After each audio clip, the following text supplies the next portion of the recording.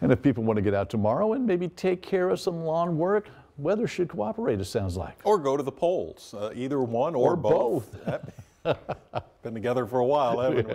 It, it does look like dry conditions uh, again tomorrow. A little chilly in the morning, Mm-hmm. but things should warm up in the afternoon. And breezes to move the leaves. Did you see how much the, the leaves dried out the last couple of days? Mm-hmm. We'll see more.